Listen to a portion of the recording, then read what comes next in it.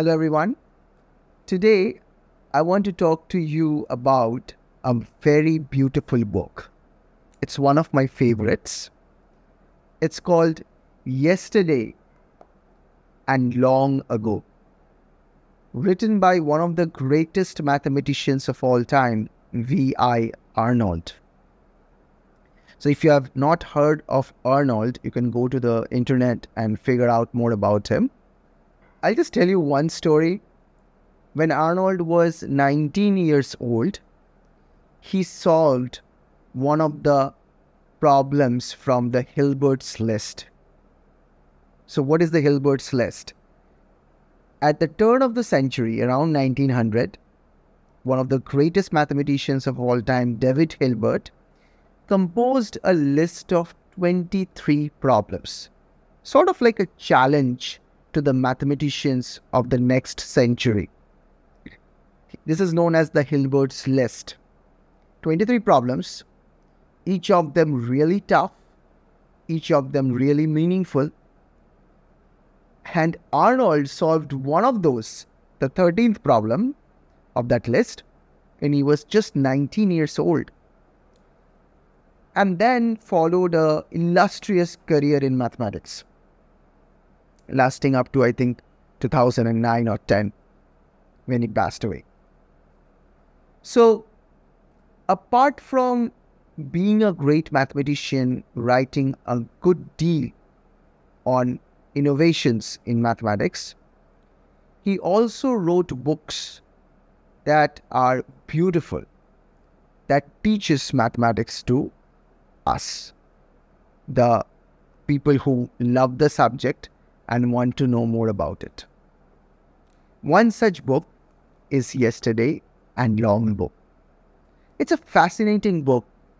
Uh, it's it's designed like this. There are short passages. Uh, each passage can be his own experience in some math conference in some country, in some corner of the street. Maybe he saw a work of art maybe he talked to a very interesting person, maybe related to mathematics, might not be related to mathematics, but somehow mathematics comes back into the passage. And there are some passages which are stories from 15th century, 16th century, 11th century, from older Europe. And again, somehow mathematics circle, circles back into those stories as well. So it's it's very interesting how the title of the book is just right. It's yesterday. That's something that happened in his life and long ago.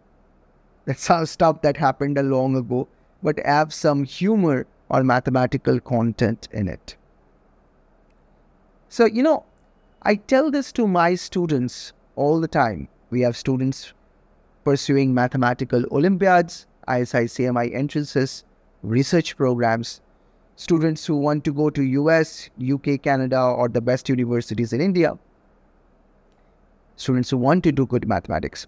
So I tell this thing all the time that one of the habits that you must have is reading book, reading good books at good intervals of time. And these books might not be exactly on math. Like these books might not be textbooks. They could be non-fictions. They could be fictions as well. This is a common habit of each and every mathematicians, mathematicians that I know of at least, and I have read about. And in fact, if you if you try to look into it a little bit more in the literature, you will find out that this is a habit of almost all successful people, especially people who are interested in innovations, people who are interested in extending the knowledge of the human mind. So, if you are a student, if you're listening to this, if you don't have a reading habit, I strongly urge you to develop one. Read one book every month but it must be written by a really great person, like a great mathematician, great author, great activist, someone, someone who has done something in his life. And that will add so much value to your thinking. Okay, now let's come back to this book yesterday and long ago. And in this, I found one passage on Ramanujan and Hardy. So it's it's like this. It's that that's like the I think you can see it. It's this is Hardy, this is Littlewood, and this is Ramanujan. So we all know about the story of Hardy, Ramanujan, and Littlewood. But one of the things that I really liked, I mean, maybe all of you know this story, that uh, Ramanujan died while he was in United Kingdom. And the visitor asked, this is uh, Arnold is writing this. So someone is uh, visiting Cambridge. The visitor asked to be shown how Ramanujan slept and found that he slept on blankets and never suspected that he should have covered himself with them. So apparently people in Madras never do it do this. That's what Arnold is writing. So he had blankets, but he just slept on the blankets. He did not put them on. That is why he felt cold, and that is why he got ill. It seems that first it was pneumonia and then tuberculosis. And he died at a very young age. Uh, so, of course, this is the story we all know, but I really like the human touch that Arnold actually attaches to the story next. He's actually a little bit critical about Hardy. He's saying, I think that Hardy's snobbery and his inhuman behavior did not let him visit his sick student who lived in the same house and did not let him give elementary practical advice. So, you know, I have read a lot of books and a lot of passages, a lot of stories related to Ramanujan and Hardy.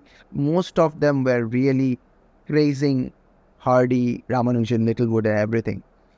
And you can also go ahead and read that story, learn that story, how a clerk from Madras went on to meet one of the good mathematicians, best mathematicians from Britain, and then went on to become a legend, Ramanujan, that is. But I never um, read anything of this sort. It really, really touched me because he was talking in from the point of view of a teacher who must be humane, who must be actually thinking about his pupil. Not just the mathematics, more than that. And I'm not saying that he's right or wrong, and I'm not criticizing Hardy per se. I do not have enough knowledge about the situation and so on. But I do see the human, huma, humane side of um, Arnold. It, it tells you it tells you a lot about a particular person or a mathematician from the things he writes. So that's one um, uh, anecdote. This is like from, as I told you, from history, right? From long ago. Now another passage from my, uh, from yesterday. It's on. It's called Our Manchuria.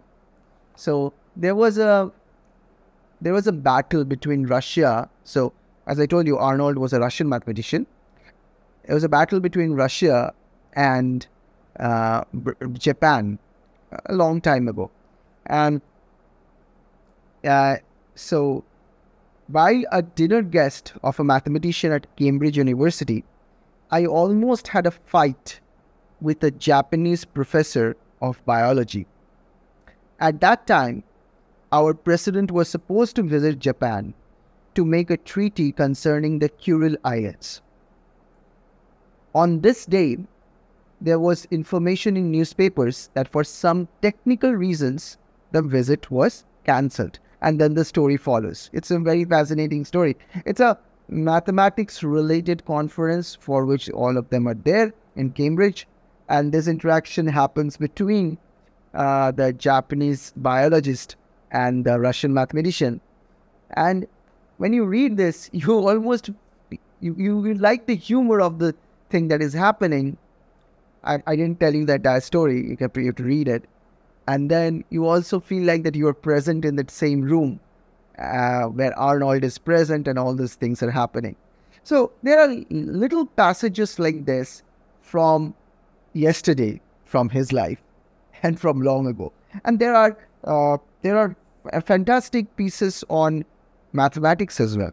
So uh, I learned about a certain treatment of uh, Galois theory or of Galois theory from this particular book that Arnold did. I mean, he delivered a lecture on that in 1960s, and one of his students actually uh, wrote a book out of that treatment. And I found the book in the internet. Maybe I'll, I'll, I'll talk about that book some other day. So there are these pieces and nuggets of other references to other mathematics books, works, and ideas. So in short, this is a treasure. This is a book of treasure, you can say. It lets you inside the mind of one of the greatest mathematicians of all time. And it also gives you an idea about how you can have fun with mathematics, how you can live a life as a mathematician, how you should expand your mind and read about history, about geography, about biology, about other stuff as well while you are doing your subject, good mathematics. Because after all, all of these things are connected in the world. We humans have only divided these things, right? So I hope you like the book. You can purchase it online and I will I'm sure that you will enjoy it a lot. Let me know about your favorite books as well in the comment section. I will be very happy to know know about them and learn from them and read them and so on. And finally, one word or two words read books. All right? Take care. Bye.